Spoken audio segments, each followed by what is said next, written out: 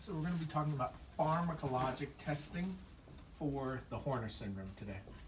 So the pharmacologic topical testing for the oculosympathetic pathway, in this case confirming whether or not we have a Horner syndrome, is really important in establishing whether or not we need to have a workup for this.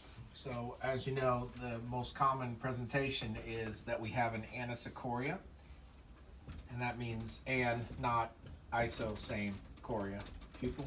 So we don't have the same size pupil, and because it's a sympathetic nervous system deficit in the Horner syndrome, the anisocoria is going to be greater in the dark because the smaller pupil is not dilating properly.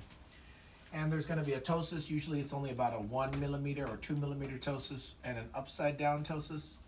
And that's because the Mueller's muscle is in charge of the sympathetic innervation to the lid and it only controls a very little bit of ptosis. So we've got ptosis, miosis, anisocoria greater in the dark, and we'd like to determine whether this smaller pupil is actually a Horner syndrome. So to do that, we're going to test the integrity of the sympathetic nervous system, and that means giving a sympathomimetic. So when we give a sympathomimetic, we are activating the sympathetics, and that can be either done indirectly or directly. So we'll start with the indirect acting sympathomimetics that we have available to us. One is topical cocaine, 4 or 10%, and the other is amphetamine, hydroxyamphetamine. And both hydroxyamphetamine and cocaine are indirect acting sympathomimetics because they don't directly bind to the receptor itself. What they do is at the neuromuscular junction, there's release of norepinephrine, and that release can be stimulated by hydroxyamphetamine, or we can block the reuptake of norepinephrine, and that is cocaine. So cocaine blocks the reuptake of norepinephrine, and hydroxyamphetamine increases the stimulation of norepinephrine. And what that means clinically is if we have a Horner syndrome, we have a block in the sympathetic nervous system pathway. And so if we give cocaine to an eye that's blocked, then blocking the reuptake won't, won't make any difference. And so the anisocoria will be greater because the normal pupil will dilate and the little pupil either won't dilate or will dilate less. And with hydroxyamphetamine, if, if the block is in the third order neuron, this neuron is broken, then giving it the indirect sympathomimetic will not release the norepinephrine because it's broken, and that's a third order neuron. However, because the sympathetic pathway has a first, a second, and a third order neuron from the hypothalamus descending posterior lateral in the brainstem to the ciliospinal center of Budge in the spinal cord at the C8T2 level, and then exits white rami as the second order neuron onto the sympathetic chain, internal carotid, intracavernous uh, carotid is going to carry it after the synapse at that superior cervical ganglion.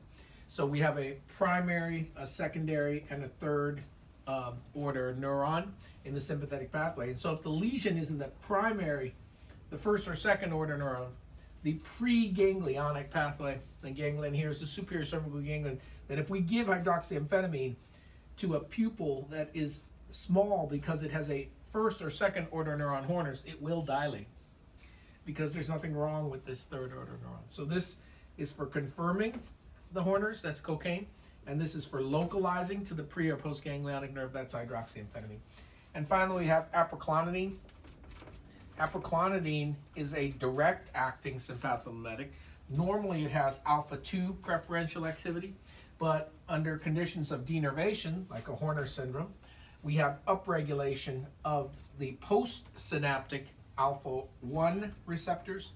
And what that will do is, normally the alpha 1 and the alpha 2 are antagonistic. The alpha 2 is a negative feedback on the alpha 1 pathway. And so normally if you stimulate the alpha 2, it makes your pupil constrict.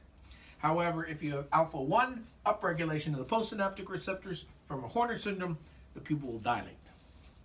Even though that is a direct acting sympathomimetic on alpha 2 normally, under denervation conditions, the alpha 1 effect will predominate. And what that will do is it will reverse the anisocoria. The bigger pupil will get either slightly smaller or not change, and the smaller pupil will dilate.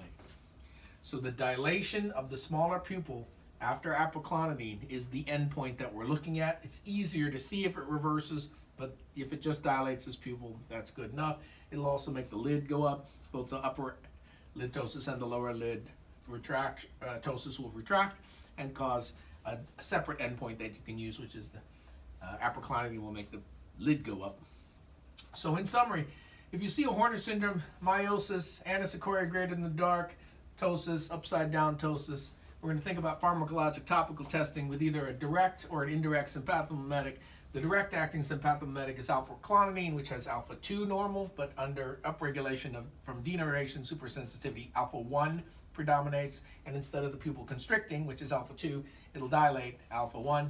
And cocaine and hydroxyamphetamine, which are indirect acting sympathomimetics. Cocaine for confirming the diagnosis, and hydroxyamphetamine for confirming whether it's a preganglionic or a postganglionic Horner syndrome.